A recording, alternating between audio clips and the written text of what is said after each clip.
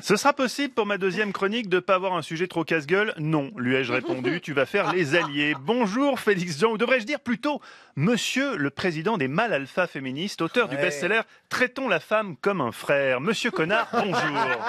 Monsieur Connard, ouais, l'illustre, l'infâme, soyez précis, monsieur Pujadas. hein.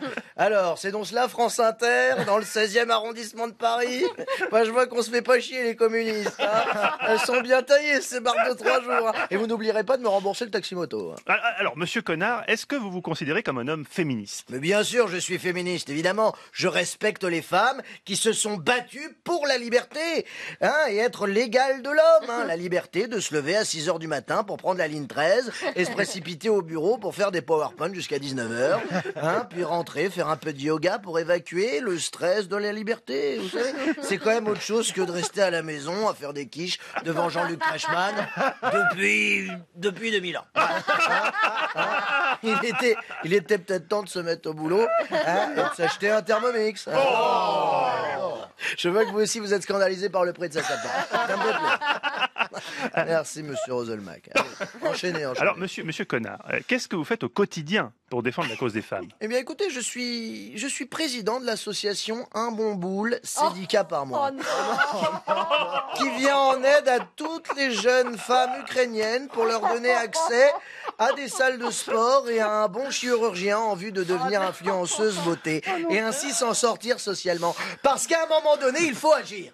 Je suis désolé, les femmes se plaignent de gagner moins alors qu'il suffirait de faire un petit peu de sport, d'acheter deux trois leggings pour faire facilement cinq fois le salaire de votre papa. Alors à un moment donné, ça suffit. Juste en faisant quelques photos. Pas besoin d'écrire un bouquin. hein. Et on sait, on sait là où ça vous a mené. Hein. 1791, Olympe de Gouges écrivait la Déclaration des droits de la femme et de la citoyenne. Un PDF détaillé où elle expliquait avec finesse et précision qu'elle en avait marre de faire le ménage. Elle s'est fait guillotiner.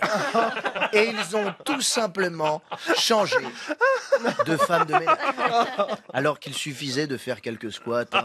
Voilà, monsieur Delahousse, ça aurait été tellement plus simple. Qu'est-ce que, qu'est-ce que vous pensez alors du système patriarcal, monsieur Connard? Écoutez, monsieur de Chavannes, simplement, je dirais, les femmes peuvent reprendre le pouvoir contre le patriarcat, ce système viriliste et sauvage, qui nous offre quoi finalement Hein? Monsieur Macron, le boxeur de ces dames, face à qui? Face à Monsieur Poutine, le dresseur d'ours? Non mais attendez, si la Seconde Guerre mondiale avait opposé Inès Reg à Natacha Saint-Pierre, ça aurait été certainement moins sanglant et plus récréatif. Euh, J'opte donc pour un nouvel ordre matriarcal, hein, dont je serai évidemment le président. L'empereur, l'empereur, l'empereur, l'empereur c'est bien. L'empereur ça me convient. que dites-vous aux femmes qui nous écoutent, qui vivent avec des hommes qui ne sont pas féministes? Alors pour vous mesdames, j'ai créé Déconstructor 500 mg. Voilà, je pense qu'on le voit. Voilà, Déconstructor 500 mg en suppositoire, trois fois par jour, goût fraise, goût hibiscus, goût banane. Au bout d'une semaine, votre mari écoutera Clara Luciani. Il ne boira que du vin blanc sans sulfite et il croisera les jambes dans les transports en commun. Voilà. Déconstructor 500 mg, 12,99€ seulement, la boîte de 3 suppos, en vente dans toutes les bonnes pharmacies. Car il n'y a pas que les femmes qui doivent prendre la pilule. Les hommes doivent aussi se responsabiliser, vous savez. Mais vous savez, mon petit Nagui, derrière, derrière chaque mouvement militant, il y a un paquet d'oseilles à se faire. Le militantisme dans le monde actuel, c'est que du business, monsieur Bourdin. C'est que du business. Allez, c'était un plaisir.